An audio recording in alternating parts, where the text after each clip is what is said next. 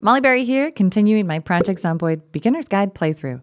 Today we're going to cover rudimentary cooking basics, spear crafting and combat pointers, how to win a fight against a horde of zombies, introduction to skill books level boosting, more foraging, and we scratch the surface on inventory management.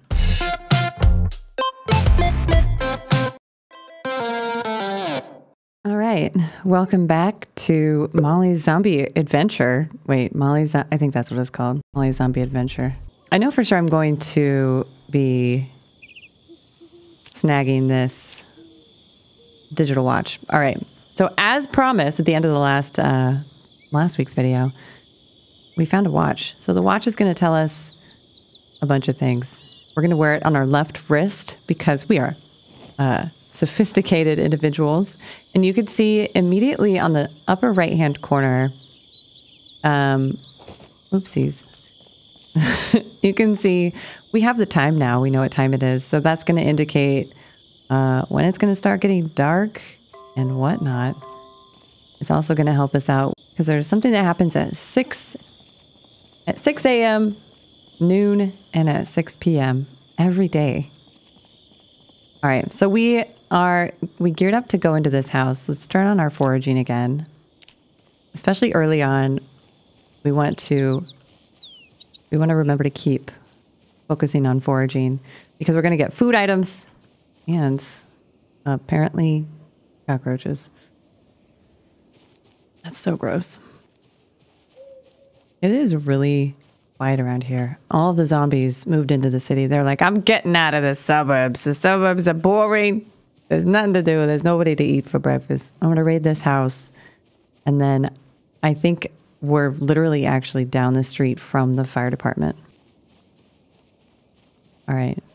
So we have done quite a bit of foraging in this little area, and there's nothing. Nothing but a cockroach. All right, this house is not is not very promising. I like to forage in a um, in an S pattern, and I blame airline FOD walks for that. All right, let's get in here maybe. There we go. Uh, so you can right click, close window, or you can actually hold down. Oops, not hold down. You can tap E. I do this every time. All right. Hold down E to jump through and tap E to close. Hold down E to jump through and tap E to close. All right, we've got a volume one for electrician. That's actually great.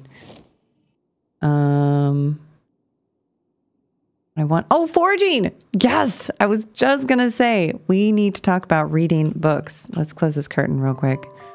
It's 2330. We're not tired at all. Interesting. All right, let's close the curtain. let's uh, read this book. All right. So, what is going to happen when we start reading? If we click on the heart over here, it'll bring us to info, go to skills.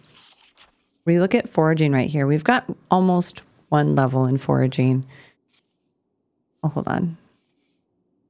That's this. Where we were seeing the mouse, the mouse over tool for this right here.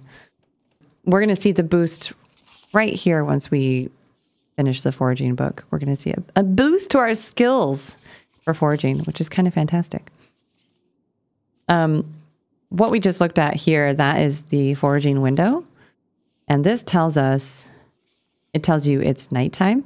You can tell by the color of the blue slash black sky with the dots of white as the stars. So you can tell it's nighttime. It's going to tell you um, common discoveries that are possible or discoveries that are possible. Others animal, uh, hold on get it to a place where you can actually read it. There we go. Um, other common animals, common food, normal, stones, rare, firewood, rare. So that's in this room that I'm in right now. And it tells you it's urban and it changes. So it'll tell you you're in the forest or you're in the deep forest or uh, etc. Um, and there's our vision effectiveness. Our search radius is three. Darkness effect gives us minus 64.94. Closing effect gives us minus 2.5. Um, and then we're going to see like a, you know, the positive effects we have from our traits and bonuses. Um, I actually have uh, a trait called oopsies. um, outdoorsman. So the outdoorsman trait actually gives me a boost to my foraging, which is quite fantastic. It gives me an increased chance of getting good stuff from the ground. It also increases my bonus uh, radius. You see there, point, 0.8%. And I also lose uh, weather effective, uh, negative effective weather. And I think it, the darkness effect might also be from that outdoorsman as well. Yeah. Pretty fantastic. Um, like I said in the in the first video, traits do traits do matter, but they don't matter if you can't survive. So that's why I say they don't matter. So it's a little talking in circles, but you'll see. You shall see. All right, we're going to fast forward the rest of this book. Um, and you'll see this this tick now here, I want to point out real quick. It gives us a um, an XP multi multiplier. So if we hover over trapping, we haven't read the trapping book yet. There's no multiplier. But we now have a multiplier of 0.3. We're like, mm, it looks like one fifth of the way through the book. So we're going to go up to the top right corner and we're going to say fast forward and watch this boop, boop, boop, boop, boop. And if we look at the book as well, in our bag, you can see the green progress bar ticking up, which is quite quite a nice visual indicator, I think, of progress and success. All right. Well, I screwed up because we fast forwarded right through and I looked at it was four o'clock and then I looked again and it was seven o'clock. We could have read that book in front of the TV, which is what I should have done. I should have turned the TV on. Uh, oh, there is no TV in here anyway. Okay. I should have turned the TV on and read the book in front of it. Awesome. Well, what are you going to do? We're going to grab that. Um, there's magazines throughout. The magazines give you recipes. Um, so look, keep an eye out. The others, the other skill boosting components in the game are going to be um, VHS. So you can find a video store and knock it over and steal all the VHS. We'll go ahead and read this magazine. We're very hungry, so we're gonna we're gonna manage these moodles real quick. Um, we're agitated, but we don't have any. Um, oh dang! This this place has a lot of cooking supplies. This is excellent. Um, we don't have any cigarettes, which is what we need to manage that moodle. All right, here's a bed. These people have all of their lights on. Jeez Louise. All right, find a bed, sleep. We heard a gun and it was like this way. Sound wise, right? Do not know what that indicates. Oh my good golly, it is very bright. I mean, I do know what that indicates. Sorry. I'm the one here doing the YouTube videos. What it means is uh, there was a like a meta event in the game, and people are zombies are now going to be filtering that direction. They're going to be like, "What happened over there?" So you want to stay put in a quiet place while they pass you by. um, we are going to very quickly fill up. It's going to be too heavy for us, so we're going to need to find a place to have a base. Uh, so I think that's what we should do today. I think we're actually okay. I'm going to grab one each of these. Um, I don't really think we need the muffin tray. The muffin tray? The muffin tray. We're going to grab all of this food. Yes, even the ice cream. Let's equip one of these. Um, what's it called? Oh, crap. We need this too. 13, 14, 15, 16. Okay, perfect. Let's equip it. We'll use this as a weapon. Awesome. We have a griddle pan now as a weapon. That is broken or it's locked, no problem. We can hold E and get in there. Tap E and close it. Let's see if there's any weapons in here. Hmm. Okay, well that's better than nothing. Uh, let's actually grab this. Oh, it's almost dead. Dang. Okay, let's grab these two. I think that's going to put me right at 18. Oh, shoot. Ootskis. We are sad. Anything I can just toss.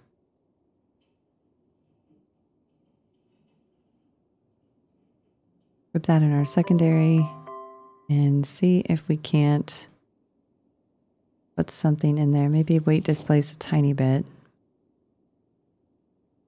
We just can't climb over anything because uh, because it will. There we go. It will fall. When you have something in your in your hand, it will fall uh, if you try to climb over a large, like a tall fence. If you're climbing over one of these guys, you should be fine.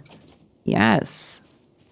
That's when this game's the realistic nature of this game is just mind-boggling. So we'll open up our uh, our investigate area box again, and now you see. Remember, I said it would change, so it's changed. It's lighter during the day. It's a sparse road looking thing, and we say enable search mode, and it's going to tell us stones are abundant, which we love. We want chipped stones. Um, oh, you know what? Uh, I don't have a knife. I want to show you guys a really good trick real quick. This would be a perfect area to do it. There's some bushes, and one of the easy ways to make a spear in the game is to dismantle a bush. Dismantle a bush. Um, kitchen knife. There we go. That's what I wanted. I wish I could get a a backpack. Caring for your employees, no. Um, okay, let's talk about this real quick. Um, I talked about VHS briefly. I said VHS is another thing in the game that'll help you with your skills. Um, and again, a reason why we need a safe house so we can start stockpiling this because we are encumbered.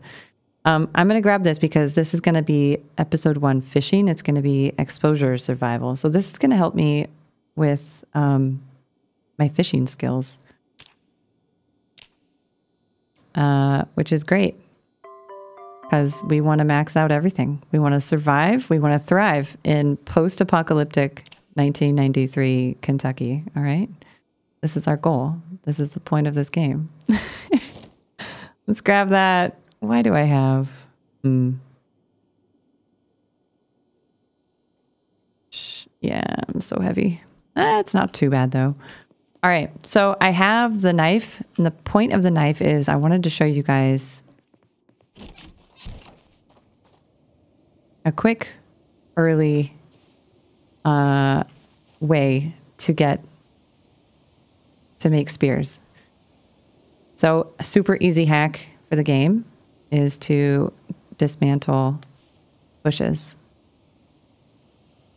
And as you can see, we're getting these little these little sticks. Um, tree branches, I think is what the item is technically called in the game. Yeah, tree branch. Um, in order to get the tree branch, you right click and it brings up this menu, and then you can say remove bush, and then you'll get this action square. And then with our little isometric view here, you select it, it turns bright green, and then you can dismantle it. All right, so we're going to ignore the we're going to ignore the twigs, and we're going to get over encumbered still further, and grab all these tree branches. I think what I'll end up doing here is actually. Is this car broken? Broken? Hmm. Let's see what the story is. No, that car is not going to drive. But maybe I can just use the trunk of the car as storage for. Uh, oh, shoot. Really? An empty gas can? That's amazing. Maybe I'll use that as uh, as storage for uh, foods. I mean, all of this, these supplies. We're just going to take these items with us in our backpack. And then everything else. Uh oh. Everything else we're going to leave in the back of this car. So that's nine pounds. So that'll that'll save us. All right, so we're underweight now. perfect. We are very sad. Oh no. Why are we so sad? Is there a book in here? Let's see if there's a book in here.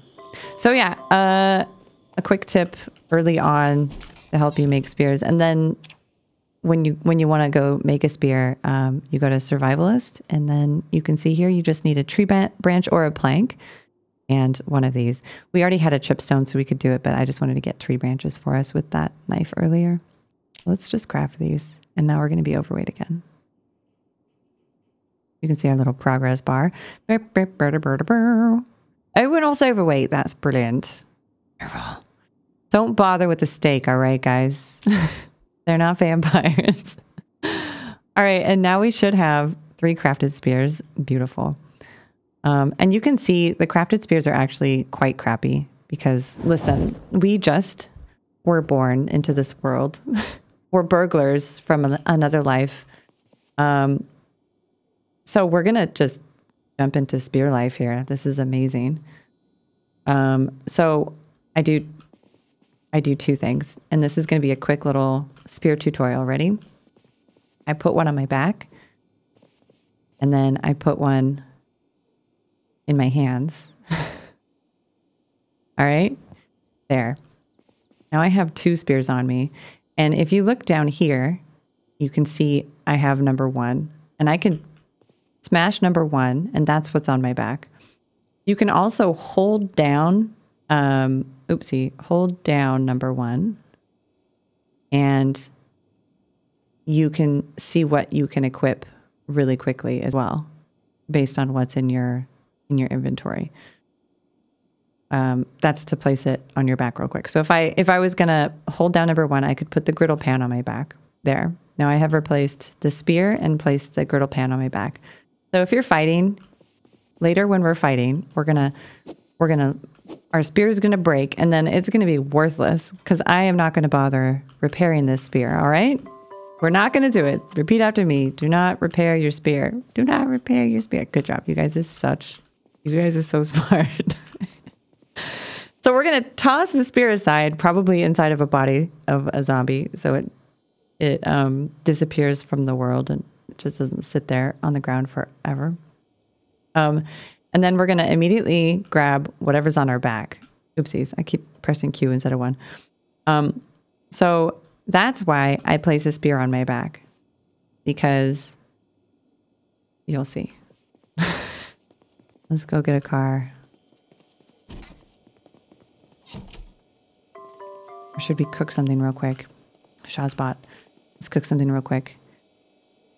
All right, just so we have something ready to go because we are getting hungry, I can see already. So let's prepare a stir fry. We have ramens. Let's throw the oysters in there. Um, peanut butter is a condiment and salt is a condiment. So that's fantastic. You can actually resize your windows. Um, I don't know who needs to hear this, but you can. There's a tiny, tiny little thing in the very small corner um, that shows you. I just like to pull this out so we can read them. We can read the menu better. Um, all right, so uh, I think we can open up some of our options here with cooking by opening up some cans of tuna, maybe, or corned beef. The thing about cooking that you want to know is you actually have to be like next to the item inside of whatever cupboard you're next to. So my cupboard here is going to have the corner one. It's going to have canned corn and beans. I think those might actually go into a stir fry. Let's see if it'll let us open those. Hello? Hello? I think my can opener might be in the other thing. Oh shoot, we have we have maple syrup. Oh, this is a great house, you guys. Uh, hold on.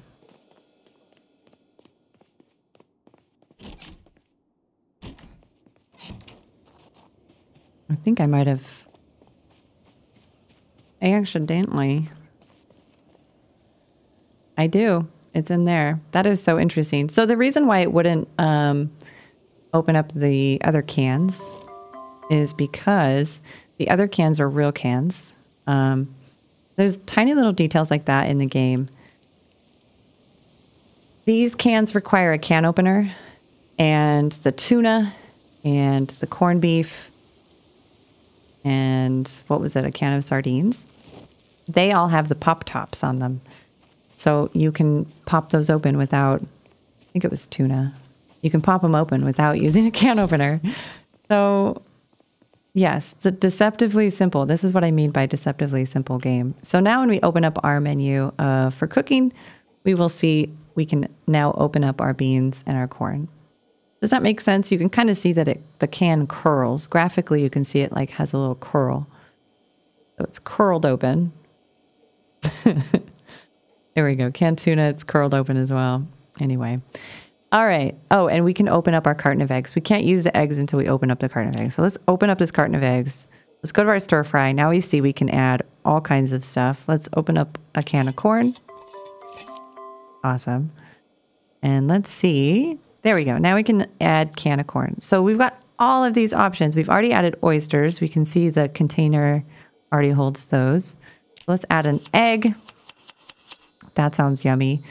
We can also just add a random pasta, a random egg, vegetable condiment, or beef. but I mean, let's just have fun choosing, right? Let's add some corn. So we got oysters, eggs, tomatoes, corn. Let's add steak. This is going to be some of the best apocalypse food you've ever seen in your life. I swear. I swear. I don't think I can put herbs though. That's unfortunate. Um, let's add some dry ramen noodles. Mm, and then salt. All right, so our bags are a little bit unruly. So I think what we should do is learn how to sort our bags by weight. It's a tiny little, tiny, tiny little filter option icon right up here. So let's do it um, by heaviest. Heaviest first. All right, let's check on these. Oh, it's cooking. Good. Oh, we don't want that to cook. Or this, or this. Perfect. This is really going to help our hunger and thirst, though.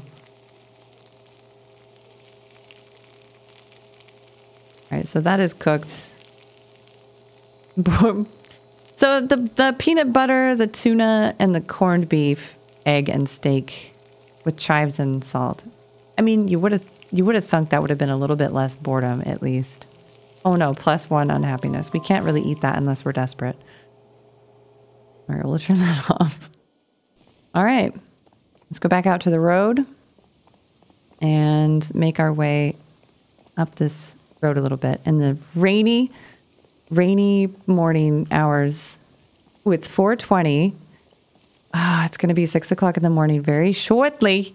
58 degrees Fahrenheit on the 11th of July.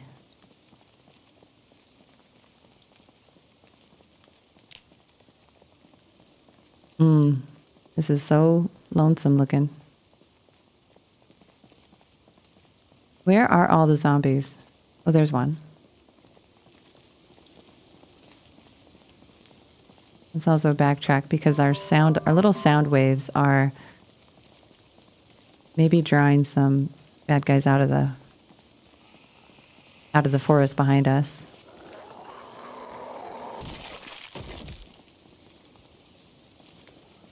Hello there. So you want to not stop necessarily. Okay. So this is what I meant when I said to put it on your back, right? And so now we can hold one down and we can replace again. So we have we have our back. Oh man, look how unhappy I am now. Depressed, ravaged by mourning and desperation. Well,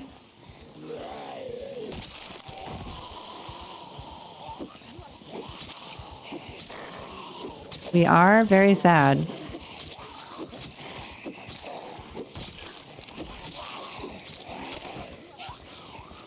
All right. So I hope that is a really clear indication why I really favor the spears over the any other weapon in the game right now. It really is my favorite. So now we've reduced it to just two in my immediate vicinity. And now two again. Now let's look behind us.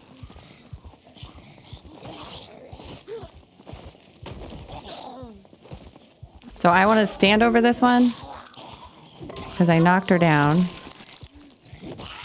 and then fight the other one because I can kind of control it a little bit easier.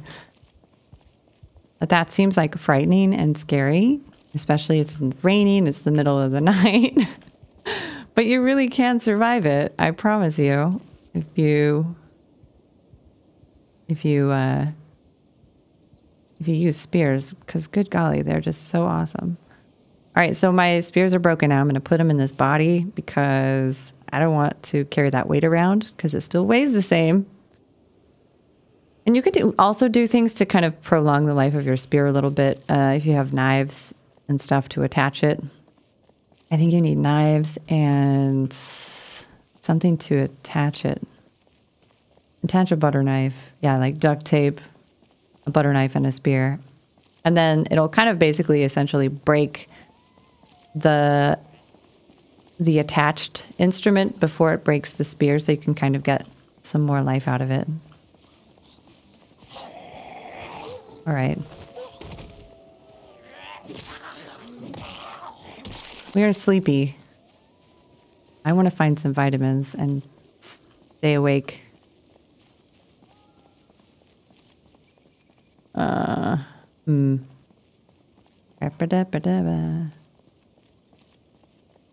made it quite a ways up here, huh? Okay. I think that we leave it here at the fork in the road for today. We've learned quite a bit today. and I feel very confident. Um, next video, we are going to make our way up this road. If I am correct about where we are, yeah, I believe up this road here, we will actually find a really good place for a base the fire station. So next week, tune in and we'll make our way to the fire station, hopefully, get a fire truck or a rescue truck. All right, that's it for today. I'll see you next time. Thank you guys so much. Bye. And that's it for today. Now it's time for you to let me know how you feel by liking, commenting, subscribing, and sharing my video. Major thank you to my supporters over on Patreon. See you next time.